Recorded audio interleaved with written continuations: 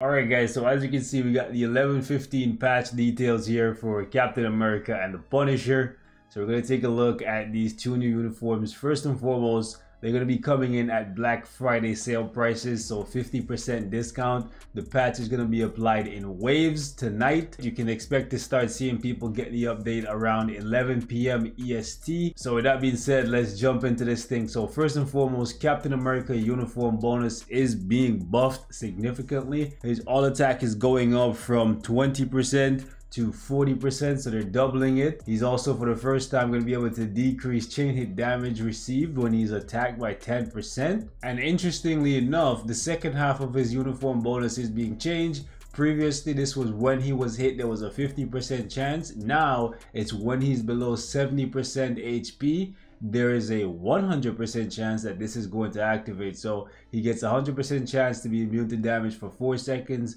And then he also gets 25% all attack, all defense, 20% critical rate, and 1% all speed. Interestingly, before this was 20 seconds on the cooldown, now it's 15 seconds. This is significantly better than what he had before, so I'm not going to complain about this because this 40% attack goes a long way, especially since it's going to be there all the time. However, I am kind of interested to see why they decided to give him decrease the chain hit damage when he's attacked as opposed to giving him chain hit damage when he's attacking. Moving on, we have his tier 3 skills. So all of the buffs here that used to last for 3 seconds were actually increased to 7 seconds and in addition to that they actually removed his damage accumulation he had damage accumulation up to 1% for 15% of his attack so i'm interested to see where they actually put that his leadership has actually been increased from 30% HP to now 45% HP. His 4-star passive is staying the same as his previous uniform, 60% chance to remove all debuffs for 6 seconds with a 10 second cooldown. Okay, so they're changing how his tier 2 passive works. Previously, you had to use his fifth skill to get all of these buffs. Now it's gonna be here all the time. There was like a slight one second, maybe half a second gap where these buffs were not activated because there was a seven second cooldown and a six second duration on most of these buffs. So it's interesting to see that they actually changed this so that it's applied all the time now. So the first skill has stun and damage immunity. This was always the case. The second skill decreases the enemy's ability to recover HP. He also has fracture. Now here's where things get spicy. We have a counter attack on the third skill with iframe ignore, damage accumulation, and this is when he's attacking as opposed to when he's hit. This is what he had previously. We have penetration, it's a 40% chance to penetrate for 5 seconds. We have damage immunity. His damage accumulation actually accumulates 20% of the pure damage when he's attacking. To put this in perspective, most characters actually have 10% and 10% is actually really good. Like for example, Gorr, he accumulates 10% when he's attacking. Um, Captain America accumulates to up to 20%. Okay, this is interesting. Now you got my attention because Captain America looks like he's gonna be a solid PvP character. That's kind of where I wanted them to go with this version of Cap. If you seen my video, I said, listen, to convince people to tier 4 Captain America, you're to have to do something wild. You're to have to put him into a position where he's never been before with any of his previous uniforms. And this might do it. You know, you don't have to wait for his tier 3 to get his accumulation anymore, which took like 3 rotations. So this might actually make him significantly stronger for PvE. But then at the exact same time, the counter attack and the iframe ignore, two things he did not have before, with stronger damage accumulation, is definitely going to make him a consideration for PvP, especially since Cap always had really, really good HP. The cooldown time on this, however, is going to be six and a half seconds, so you can't just like spam this counter attack, but it's going to be interesting. Hopefully it lasts for a little while and it does enough damage to one shot, then you can possibly consider a tier 4 Captain America for PvP. Fourth skill has burn, shock, stun, invincibility, a 20% attack, which was not there before. Now the fifth skill has bleed, silence, paralysis, 25% HP recovery, a 50% attack buff. Oh man, they're stacking this guy with a whole bunch of attack. Oh my goodness. To put this in perspective, previously this was a 35% attack buff and this was the only thing he had. Now he has the 50 here, the 20 here, the accumulation on his 1 through 5, plus he still has a 50% attack on his tier 3. If all of these are stackable and none of them is replacing each other, oh my gosh, bro. When you hit the 50, then the 20, get the accumulation and then stack it on a tier 3 rotation, it's gonna be nutty. Plus, he has 100% ignore dodge, bro, for 7 seconds now, and these buffs last longer. Oh my gosh, bro. Yeah, Cap might actually be a demon. Okay, so let's take a look at the strongest version of the Punisher that we've ever seen. This is gonna be interesting, boys. So increases basic damage dealt to supervillain by 50%. This should have been 150%. I'm sorry to tell you guys, you guys uh, dropped the ball on this one. This should have been at least 120% like Ghost Rider, bro. I don't know if you guys read the same comic run that I read, but Punisher is actually a demon, okay? 50% extra damage to villains, this guy is deleting them, okay? He's doing 500% extra damage to villains. Anyways, I also don't like the fact that they removed the superhero part because before with the Cosmic Ghost Rider uniform, it was actually 50-50. 50% extra damage to supervillains, 50% extra damage to superheroes, and he had damage reduction. So they actually took out the damage reduction out of here, and then they gave him 40% chance to increase his critical damage by 80% on critical attacks. This is cool, but they should have kept the 50% extra damage to superheroes and they should have made this like a 150 buff to villains, me personally, okay? All right, so for the leadership, they actually bumped this up by 5%. Ain't nobody really using Punisher's leadership. 30% is like mid. Anyways, I'm really happy to see that they gave him a new 4-star passive because it was really, really bad before. It was decreased his skill cooldown time by 10%. That was like really, really bad. Anyways, so now he has 40% more HP, which is amazing increases skill damage and bonus damage by 40 and 35%, decreases basic damage received by 30%. So before it was 25% damage reduction here, they put 30% here so he still has it. That's dope. And then for dark awakening which is his new tier 2 passive critical damage increases by 25%. He has ignore dodge by 40%. Before, he had 15% ignore defense and then 35% ignore dodge. So I'm happy with the new tier 2 passive. Plus, for the first time ever, a character is coming in and he decreases additional pierce damage taken by 50%. This is what you see pop up in Gorr the God Butcher's fight when you walk into the blackness and this is also what happens in the second half of the fight against Dormammu. So the fact that they're starting to put this on characters now is actually kind of crazy. It means that eventually PvP characters are going to be able to reduce the amount of pierce damage that they take,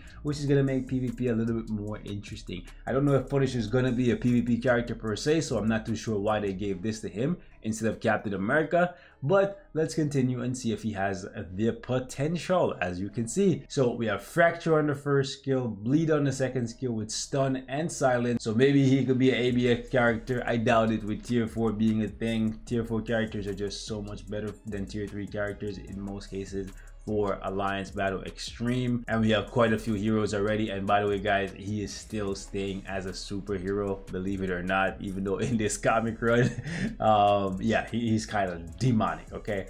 Anyways, third skill, counter attack when defending against enemy attacks iframe ignore so same as cap he has counter attack and iframe ignore however he recovers 30 percent of his max hp Captain America recovers 25% like he always did on his previous uniform. We have 60% chance to penetrate here. We have 5 seconds of damage immunity. We have 50% attack, 30% defense, 6% speed. This is on a 14 second cooldown, so you cut that in half. That's 7 seconds. We got paralysis here, incapacitation, we got a little bit of burn action here, 50% attack. Again, they're loving that 50-50. Okay, I love it too. And then we got 20% critical rate. Then we got paralysis and invincibility. So not as much as Captain America. They didn't even bother to give him damage accumulation on his 1 through 5. More than likely it's going to be on his tier 3. But I would have preferred it on his 1 through 5. So hopefully you can use his tier 3 skill every other rotation. So let's see. Um, what? You're joking. They gave him invincibility, a damage proc, 60% attack, no damage accumulation. You're joking. So his damage better just be really, really high. Kind of like how Loki came out and his damage was just really high, even without damage accumulation. Otherwise, this is gonna be a dud, bro. Like it's very rare for a character to be incredibly strong without damage accumulation for PvE content. Okay, so increases all basic attack by 100% for 7 seconds, ignores all damage over max HP plus 15% for 3 seconds. So basically, if the hit is higher than his max HP, which Cap always has really good HP, um, more than likely he's gonna become unkillable for three seconds, but it's under specific circumstances. It's not like an unkillable passive or unkillable artifact. It's very interesting. I'm gonna love to see how this works out. So it's partially offensive, partially defensive. Hopefully this 100% attack makes him hit really, really hard. But with all of the other buffs that they gave him on this uniform, maybe this is exactly why they went half and half for his tier 4 skill to balance him out a little bit. So no new artifact for Captain America. He already had an artifact. Punisher's artifact looks pretty interesting though. 50% chance to remove all debuff received. And he ignores non-boss enemy damage decrease by 20%. So very, very PvP centric. However, this is what annoys me. It's a 25 second cooldown. So for me, I wouldn't personally chase this artifact for Punisher because the debuff removal you're gonna get from a leadership for PvP anyways, and the ignore boss enemy decrease is nice, but 25 seconds to get it, kinda yikes, bro. Anyways, moving on. Black Bolt is also getting buffed. They're increasing the all attack from 40% to 50%. They're also making it so that he has additional pierce damage by 8% for 10 seconds. This is massive, okay? So Black Bolt is gonna be hitting like a truck for GBR because even in the second half of the fight, that's still 4% pierce damage. That's gonna be there now for 10 seconds which was not there before. By the way, we have the uniform options here for Captain America and the Punisher. Captain America's uniform has Black Widow, which is the newest one. We have Gambit, okay, Scarlet Witch. They're going back like three uniforms ago. This is just disgusting. I don't know what that what that is about, bro. But we have Heimdall and Sharon Rogers. Those are recent. We have Daredevil, Elektra, Psylocke, America Chavez, and Ebony Maw. All of these are the most recent uniforms for these characters, so I don't have a problem with that. But holy, bro, they went back to all new, all different for Scarlet Witch. Whoever did this, you need a slap, bro. Anyways, we have a growth mission here, and then we have a ranking event coming for them after.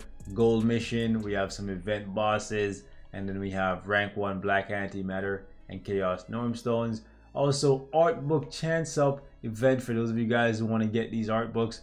Obviously, the only card you want is actually all new, all different, but you don't necessarily need it for the best PvE or PvP sets in the game. And surprise, surprise, for the first time ever, they brought back a seasonal uniform. So this explains everything. So they buff Black Bolt because they're trying to sell it again. Maybe it didn't sell as well as we thought. So this is a special event, boys if you missed out on Black Bolt, now that they buffed them for the second time, okay, now it might be a real buff. We'll actually have to wait and see. You might want to pick this up. This is not something that happens very often, and this is not something that's happening because it's Black Friday, because if it was, they would have been selling all of the other seasonal uniforms as well. But they're selling Black Bolt specifically because of the fact that he wasn't as strong as they thought he should be which is wild when you consider the fact that his damage output is the highest in the game right now. And before they nerfed him, which was after the sale ended, people were kind of content with his offenses. They were kind of disappointed in his survivability a little bit, but offensively, he was delivering. But the fact that they nerfed him after the sale left, now they're buffing him again and then putting him back on sale is kind of wild. Okay, so if you have Black Friday crystals that you save to buy like two uniforms, maybe you want to put it on Black Bolt. I don't know what to tell you, man. But I'm gonna give you guys some content on Black Bolt at tier four in this new uniform, and then you can make a decision for yourself. That's kind of wild.